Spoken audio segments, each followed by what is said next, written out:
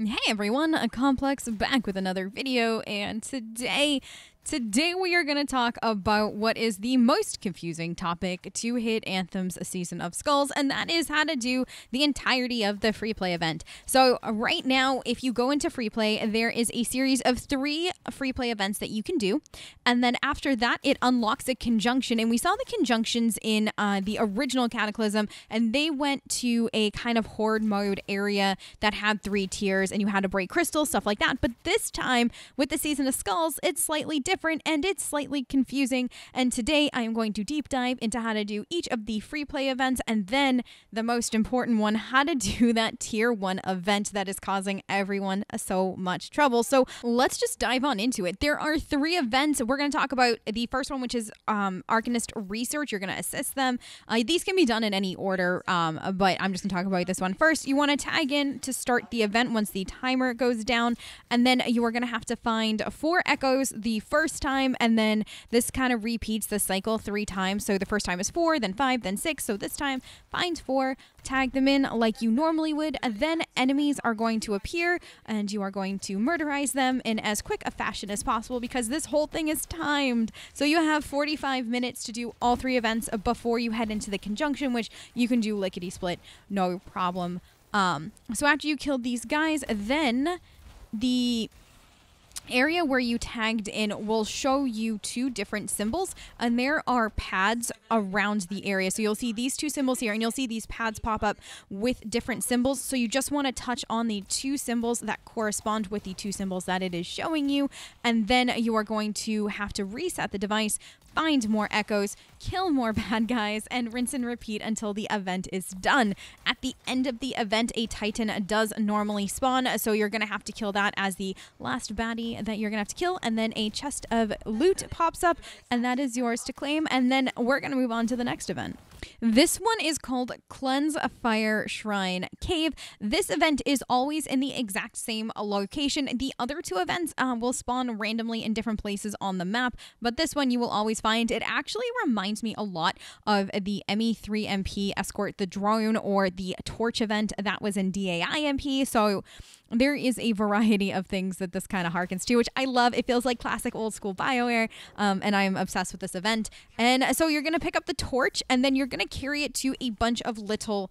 Um, shrine areas so you're going to place it in and it will light this fire now if you go outside of the fire or you're not the torch carrier, you will destabilize just like you do in the cataclysm when you are outside of the safety bubble. So that is something to be aware of. Now, if you are the person carrying the torch, you can't run, you can't strafe, you can jump, but that's about it. Uh, you can shoot your gun and all that good stuff so you can defend yourself but just know you are grounded, which I actually really like the way that that feels. I think it's an interesting mechanic um, that we haven't seen in Anthem before, and I am a little obsessed with that as well.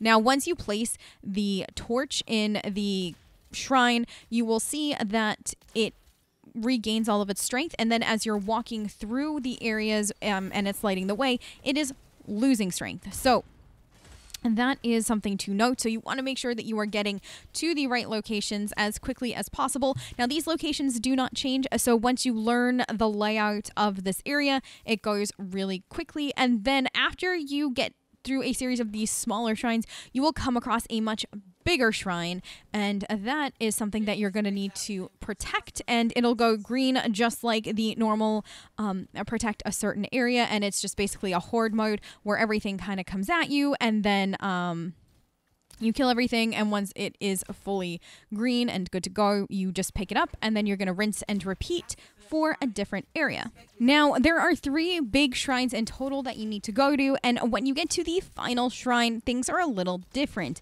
Once you place the torch within that final shrine, Faye will mention that you are actually missing some skulls and it's not acting like the rest because the fire isn't big enough and it will point you to a few different areas where you can pick up up to, there are five skulls to pick up. And then you just have to bring them back to this big shrine. And once all five are in place it acts like a normal shrine. And then you get the big boss battle for it which is a really cool looking Ursix if I do say so myself. Um, so just know when you get to that final one you do have to pick up the um, the five bone shrines. And you can't fly when you are carrying them. Um, just like any other um, like relic pickup or anything like that.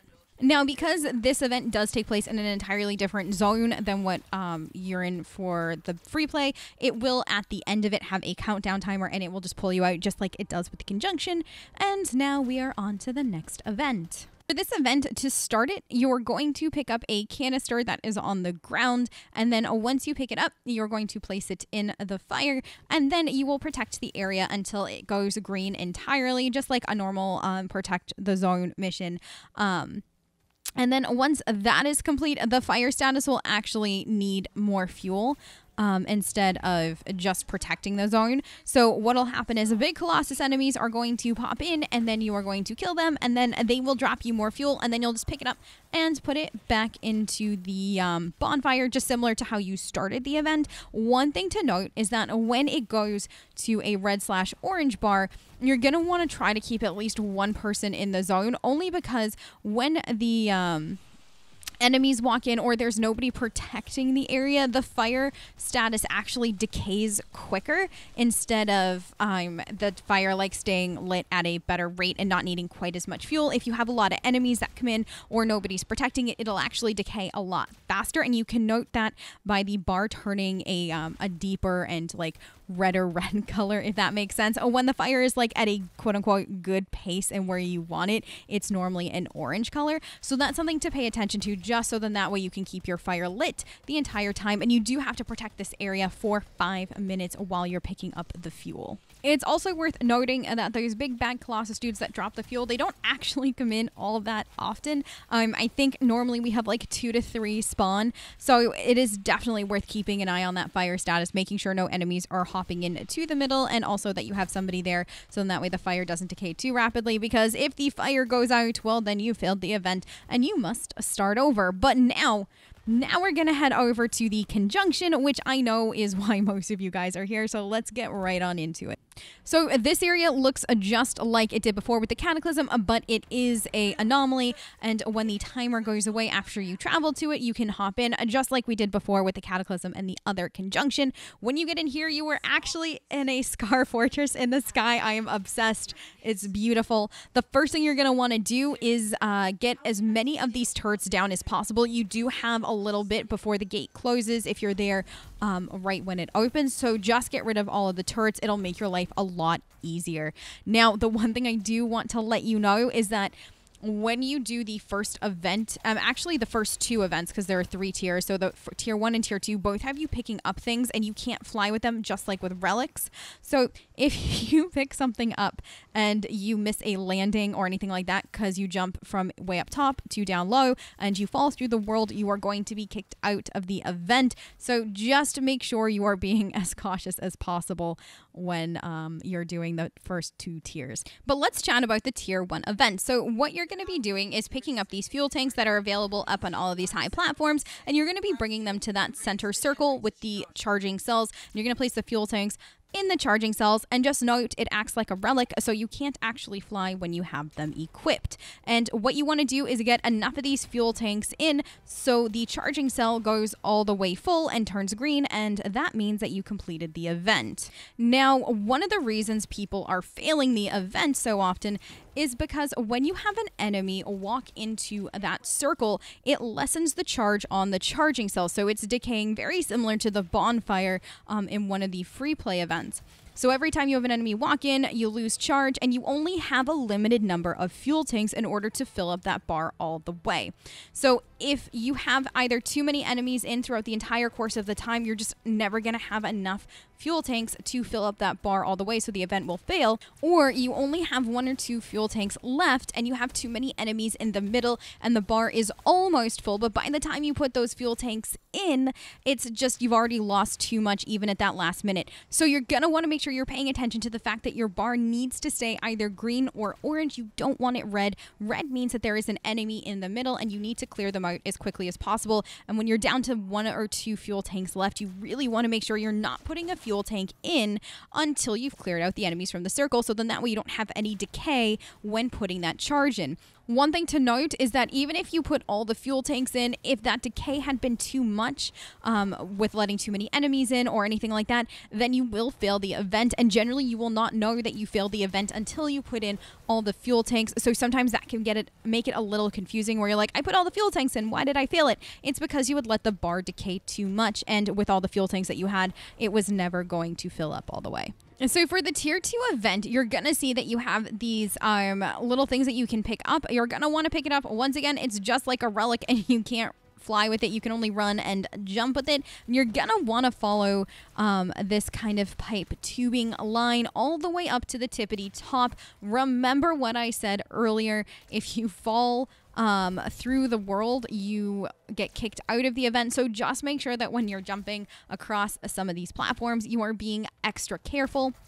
And you're going to want to follow this up all the way to the tippity top. And when you get there, you'll notice that there is a spot for you to put the device that you picked up. You're going to place the cell there. And then on the other side of where we are now, you'll see like the little hand symbol, there's a lever to trigger. So if you're in a coordinated group, you're just going to want to make sure you have somebody up there already. So then that way, when the time comes, it is super easy. It is a pretty far flight. So you're better off going from the platform with the balloon instead of from the bottom all the way up because you might not make it um, with like the heating, overheating, and stuff like that. And then the last event, the tier three, is generally going to be a boss fight. This time around, it is an Ascarii. I don't know if they're going to be changing out the bosses, but from the challenges, it does look like we're going to get a different one per week. So this week, as of recording it, it is the Ascarii to kill. And you will note that there is flight suppression when you're killing them. So just make sure by the time the um, tier three event starts that you are in the appropriate area just in case you don't like fall through the world or anything like that. But y'all, that's pretty much it. You've officially completed the event now. Hopefully, this guide was helpful. If you have any questions, please don't hesitate to leave it in the comments down below or find me on Twitch. I do stream Anthem at least once a week, and I am always happy to help and answer questions when and where I can. Thank you so much for joining me. I hope you all have a fantastic rest of your night and or day, depending on where you are in the world, and I will catch you next time. Bye, guys.